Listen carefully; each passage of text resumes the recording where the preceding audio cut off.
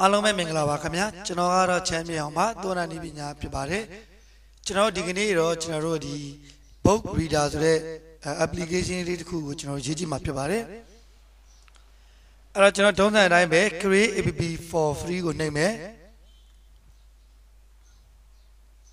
အပြီးရင်တော့ကျွန်တော်ဒီမှာ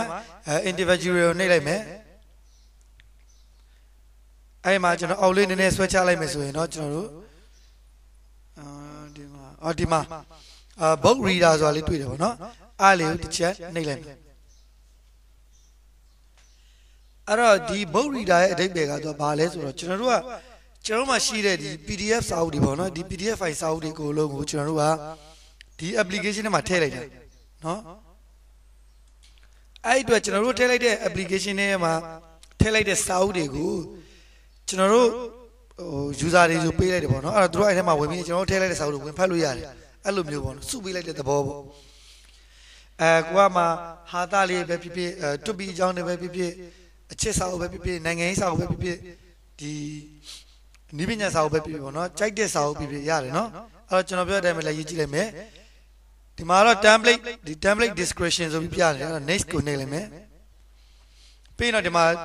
ဒီစာမျက်နှာရောက်လာပါတော့ အမ APP setting မှာသူက you can find a free books in this website เนาะအဲသူကတော့ပြောချင်တဲ့တိတ်ပြတော့ကျွန်တော်တို့ဒီ PDF စာအုပ်တွေကိုလိုချင်ရင်တဲ့ဒီ website တွေတွတ်တောင်းလို့ရတယ်လို့သူကပြောတာဒါပေမဲ့အဲ့အဲ့ဒါ English book တွေပဲရမှာပေါ့เนาะကျွန်တော်မြန်မာ book တွေမရဘူးအဲကျွန်တော်ကအဲ့ရမတောင်းဘူးအဲမြန်မာ book တွေကတော့ online နေရှာတောင်းမှာပေါ့ကွာเนาะပြီးတော့ကျန်အောက်မှာ book library ဆိုပြီးတော့ရှိတယ်အဲ့မှာကျွန်တော်တို့ကအဲဒီစာအုပ်ရဲ့ ခေါင်းစဉ်ပေါ့ခေါင်းစဉ်ပေးခိုင်းတယ်အော်ကျွန်တော်ကြိုက်တာပြီးလိုက်မှာပေါ့နော်ကိုယ်စာအုပ်ရဲ့နာမည်ပေါ့ဗျာနော်ကျွန်တော်တို့ထဲမဲ့စာအုပ်ရဲ့နာမည်ပေါ့အဲကျွန်တော်ကဒီမှာအချစ်လို့ပြီးလိုက်မယ်နော်ပြီးရင်တော့ကျွန်တော်ကသူက၃မျိုးရှိတယ်ပေါ့နော် upload EPUB နဲ့လည်းတင်လို့ရတယ် PDF file နဲ့လည်းတင်လို့ရတယ် PDF file ရဲ့ URL ပေါ့ online နဲ့ဖတ်လို့ရအောင်လည်းတင်လို့ရတယ်ပေါ့နော်နောက်တစ်ချက်သတိထားမှာကျွန်တော်တင်လိုက်တဲ့စာအုပ်တွေဒီတဲ့ site ဒီအနည်းဆုံး 20 MB တက် ကြော်လို့မရဘူးပေါ့နော်အဲ့အောက်ပဲရှိရမယ်ပေါ့နော်အဲကျွန်တော်တို့ကတော့ upload PDF file နဲ့ပဲတင်มาဖြစ်ပါတယ်အဲ့အတွက်အားလျက်ပူစင်ပြပါတယ်အဲ့တော့ upload file ဆိုတာလေးကိုတစ်ချက်နှိပ်လိုက်မယ်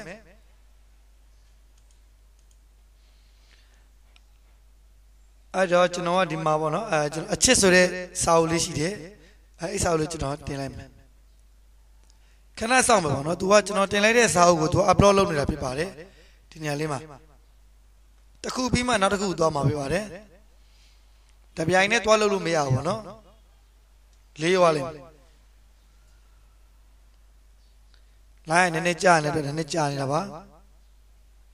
โอเคတင်ပြီးပြီဆိုရင်တော့ကျွန်တော်ဒီမှာဒီလိုလေးပေါ်လာပြီပေါ့နော်အချစ် .pdf ဆိုပြီးပေါ်လာပြီနော်ပြီးနောက်တစ်ခုသွားမယ်အာနောက်တစ်ခုဆိုရင်အရင်တင်ကြည့်လိုက်မယ်ပါလဲဆိုအော်ချီကွေပါတာ စောင်းနမရချီကွေပါတာဗောနော်အလွယ်ပဲဒီလိုပြလိုက်မယ်နော်ခဏဒါဆိုရပါပြီနော်အဲစောင်းကနှစ်အုပ်ပေါ့နောက်တော့တက်တဲ့ချိန်ဒီမှာ add mode ထပ်နေမယ်ထပ်ပေးမယ်ဗောနော်အဲဒီမှာတော့ကျွန်တော် wifi လို့ပေးလိုက်မယ်ပြီးရင်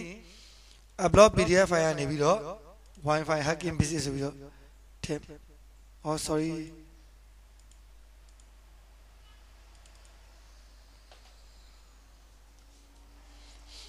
အရရောနော်နောက်ထပ် add mode ထပ်နေမယ်အဲဖေစော်ကြီးရဲ့စာအုပ်ပေါ့နော်စော်ကြီးလို့ပြလိုက်မယ်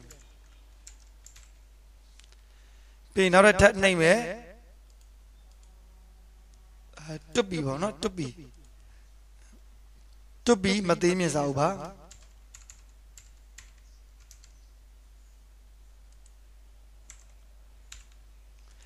အာပြီးသွားပြီပေါ့နော်ကျွန်တော်စာအုပ်၅အုပ်ထည့်လိုက်တယ်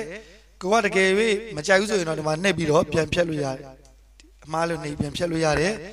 ထက်ထက်ချင်းစာအုပ်တွေအများကြီးထက်ထက်သွားလို့ရတယ်နော်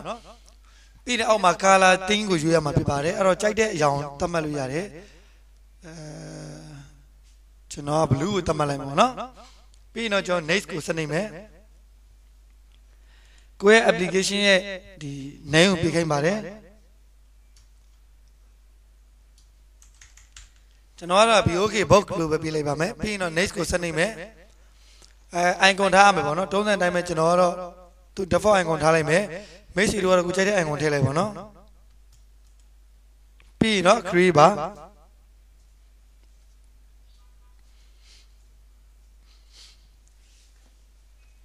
ထုံးစံတိုင်းဒီဆင်းရောက်ပြီဆိုရင်တော့ကျွန်တော်တို့ဒီမှာ download ကိုတစ်ချက်နှိပ်လိုက်ပါမယ်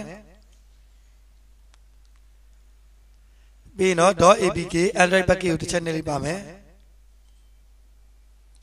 ခဏစောင့်ပါနော်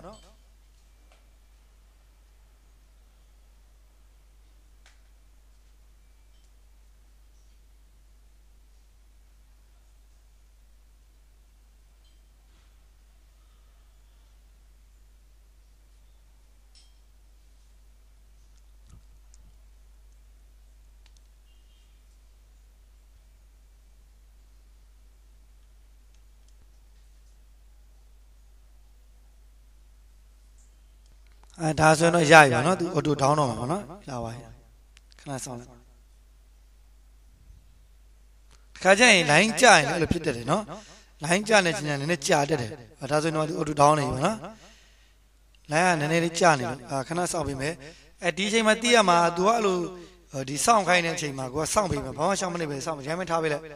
သူကသူပြည့်အောင် auto down သွားလိမ့်မယ်အခုဘာမှနှိပ်စီရမလိုဘူးပေါ့နော်အဲ့တော့ဒီတိုင်းထားခဲ့ပြီးတော့ကိုလို့ဆက်ရှိရတယ်လုပ်နေလို့ရတယ်တခြားပြင်မှာ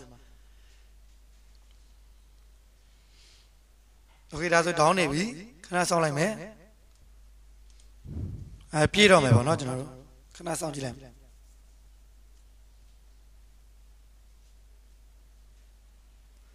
ဒါဆိုရင်ကျွန်တော်ဒီရေးလိုက်တဲ့ application လေးကပြည့်သွားပြီသူတစ်ချက်နှိပ်ပြီးကျွန်တော်ဖွင့်လိုက်မယ်โอเคကျွန်တော်ဒီမှာ BOK box ဆိုပြီးတွေ့တယ်ပေါ့နော်အဲ့ဒါတစ်ချက်ဝင်ကြည့်လိုက်မယ်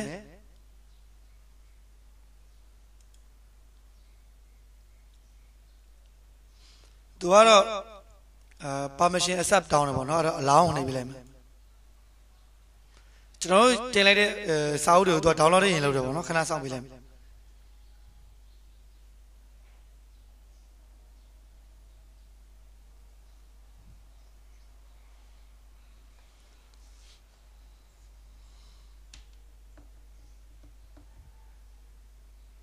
အဲဒါဆို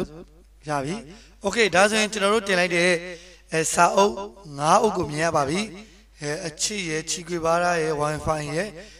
အဲဆရာဇော်ကြီးရဲ့ကျွတ်ပီရဲ့ပေါ့နော်အော်ဒီစာအုပ်တွေကကျွန်တော်ခဏပဲတင်ခန်းစာနေတင်ပြတာပါအလုံး credit ပေးပါတယ်ပေါ့နော်စာရေးဆရာတွေကိုလည်း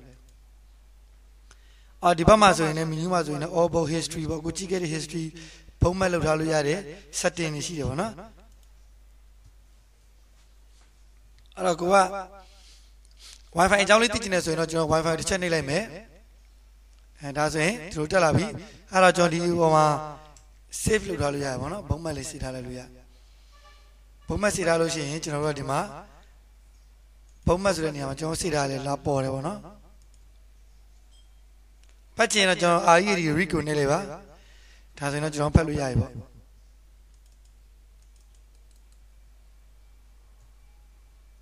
အဲဒါကျွန်တော်တို့ application ကနေဖတ်နေတာပေါ့နော်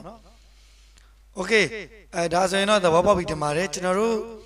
မှာရှိတဲ့ PDF စာအုပ်တွေအကုန်လုံးကိုဒီလိုမျိုးလေးကျွန်တော်တို့ကရေးထားလို့ရတယ်ပေါ့နော်စက်တင်ထဲမှာဆိုလဲကျွန်တော်တို့ကအဲ list view create view ထည့်လို့ရပါတော့အဲ list view ဆိုရင်ဒီလိုလေးပေါ်နေလိမ့်မယ်ပေါ့နော်အဲဒါလေးတွေကတော့ကိုယ့်အောက်ကကလစ်လိုက်ပေါ့နော်ဟာအားလုံးကျေးဇူးတင်ပါတယ်ဒီသင်ခန်းစာကတော့ဒီလောက်ပါပဲဒါကတော့ကျွန်တော် အဲဒီစာအုပ်ရင်းနှီးသင်ခန်းစာလေးပဲဖြစ်ပါတယ်